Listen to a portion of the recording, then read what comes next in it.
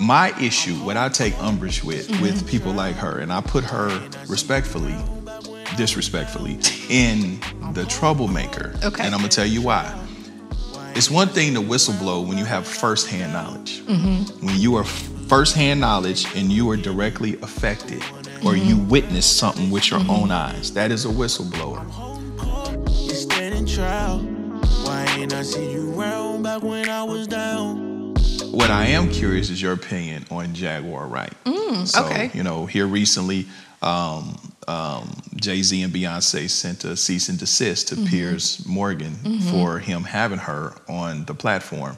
Now, um, I know a few platforms that she goes on regularly, which Mm-hmm. I've done those platforms, and I'm cool with those guys, and I respect them. Um, shout out to real life street stars. Mm-hmm. Um, but I have my opinion of her and people like her. You know, Mm-hmm. Okay. uh, not just her, but she's trending right now.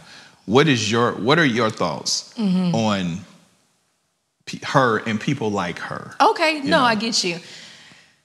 So here's the thing. I feel like it's two different. I feel like you have troublemakers and then I feel like you have whistleblowers. Mm-hmm. So I think it's mm-hmm. two different things. Mm-hmm. I think people that just troll and want to trouble make and just cause dissension and chaos, I think that is something different. And at first, I could see how people could maybe group her into the troublemaker, you know, category because I ain't gonna lie, I'll be fully transparent. At first I did. Because and this was before all of the puffy, like this was just I, I would say she came into my cipher like earlier this year, maybe late last year. Um, but as I've gotten older, and even me too, now being in business and just being in a different space, I really do appreciate people that can and go against the grain and embrace all the discomfort that comes with airing out i'm just gonna say just debauchery Yeah. you know it Yeah. just is because you know as much as you know especially black people want to sit up here and say like oh they're tearing a black man down and this and this and that and i'm like okay we can go back and forth i'm not saying there isn't concerted effort towards him maybe or maybe Right. not because he's black but the thing is, is that he still did what he did and But- he still needs to be accountable But let for me, what he this did let me push back a little Push bit. back. In terms of because I'm very fastidious when it comes Mm-hmm. to certain things. Um, my issue, what I take umbrage with, Mm-hmm. with people like her, and I put her respectfully, disrespectfully, in the troublemaker. Okay. And I'm gonna tell you why. It's one thing to whistleblow when you have firsthand knowledge. Mm-hmm. When you are firsthand knowledge and you are directly affected, or Mm-hmm. you witness something with your own eyes, that is a whistleblower. Now, gossip, Mm-hmm. you know, and and again, I'm not super versed on her, uh, somewhat, Mm-hmm. but I don't believe, and I could be wrong, but I don't believe that anything she's saying she has experienced or witnessed firsthand herself. From what I understand, from what I understand, Uh-huh. this is just she's regurgitating things Mm-hmm. that we've all heard for 20 plus years.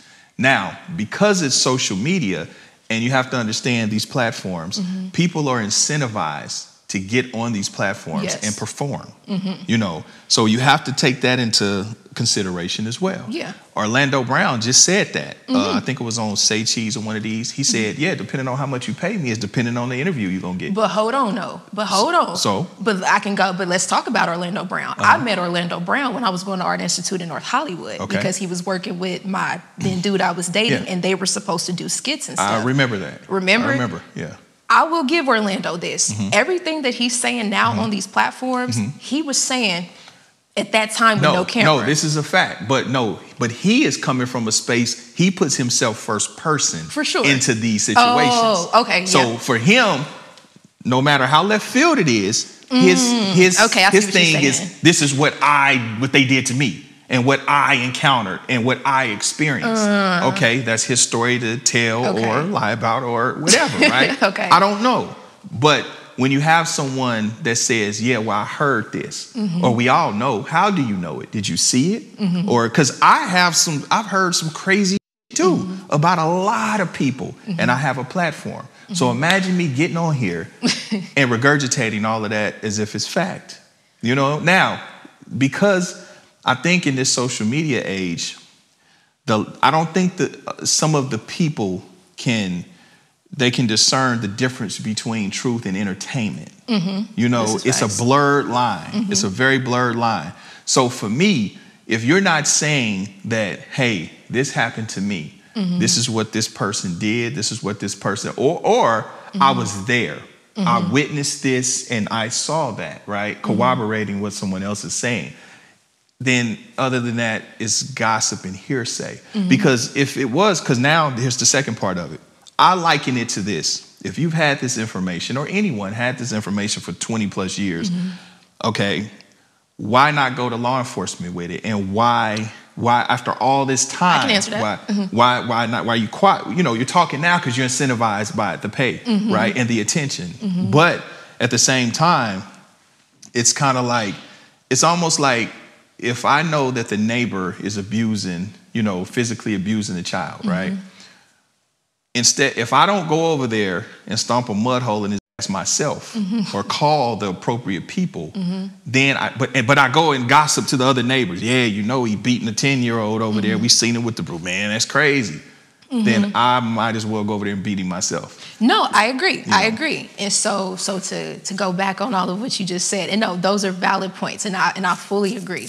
Now, same, I haven't fully dived deep into all of what she has going on and all of her tes- testimonies. I've seen, you know, like some mm-hmm. clips, some shorts here and there, and you know, you you go through the comments, but because I, I remember thinking to myself, I said, man, she not this mad over no deal gone wrong. Mm-hmm. You know, I was like, that, I mean, I get it, broken dreams and all mm-hmm. of that, but I said, mm-hmm. there has to, th- this is something else.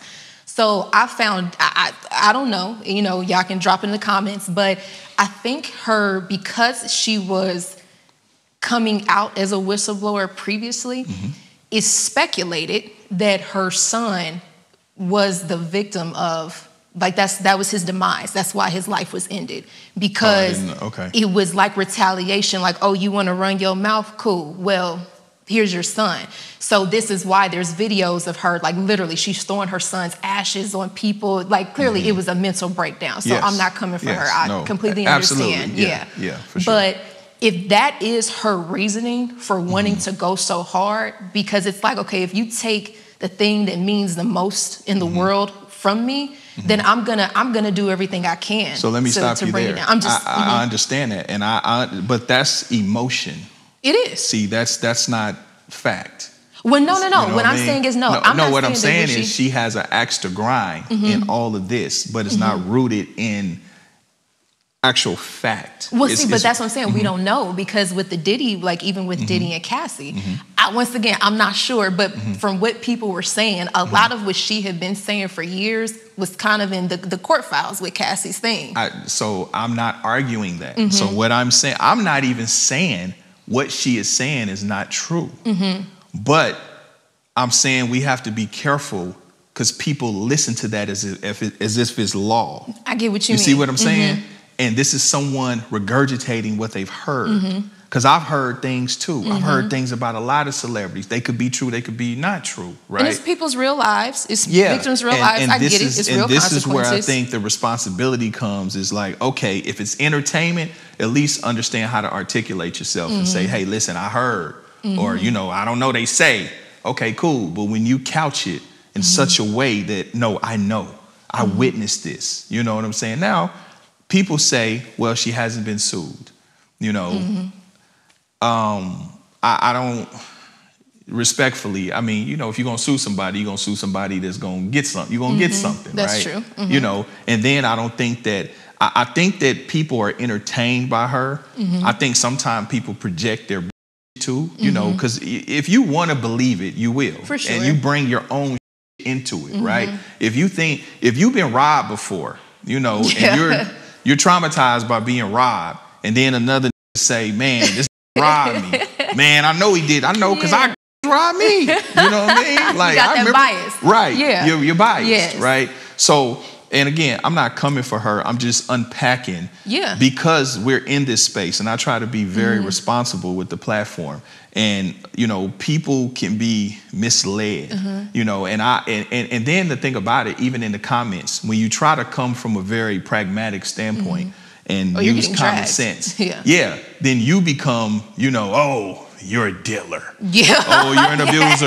And it's like, no, no, no, no. That's not what I said. All I'm saying, Yes. remove emotion. yes. All I'm saying is, do you have to understand that, you know, But here's the thing, though, I will say, because I do think this is important to note, because I do see a lot of like, oh, why are these people coming out now? Why mm-hmm. now? Why now? But what people have to consider is that, especially with men and power dynamics, and men understand power dynamics because y'all naturally function under hierarchy. Mm-hmm. If, if, if you have these people, you know what I mean? If you have this man that has all this money, these this resource, this access, you know, mm-hmm. not only in the entertainment, but mm-hmm. also in law enforcement. Who are you gonna call? Ghostbusters? Seriously, who are you gonna call? Because if he has the sheriff on payroll, like Diddy, he paid 50, 100 bands to have the tape deleted from a big hotel and mm-hmm. whatever. Like, I didn't, you see what I'm saying? Like, Yeah. these are still things. And I'm saying this to say that when you have victims or other people that see these power plays, I can understand how people could be like, well, sheesh, like so and so got took out, so and so's family got took out. They got paid off. This person, oh, this sheriff, this mm-hmm. this political person. I could start, you know, it's just like with Cassie. You can be a walking hostage mm-hmm. because you're still under this power dynamic, you know. So I mm-hmm. think that that's why sometimes people it can take them longer because shoot, sometimes it may be an opening. Maybe Yeah. there wasn't an opening for years. Maybe you didn't have anywhere to go. Maybe you couldn't even financially take the backlash you- that would have that would have come with that because now you're blackballed, you're Yeah. eradicated, and especially as women, you have to move even more. you know. I mean, it's not it's not lost on me that that you know I, I understand. You know, um, some women don't have, you know, they don't have anyone.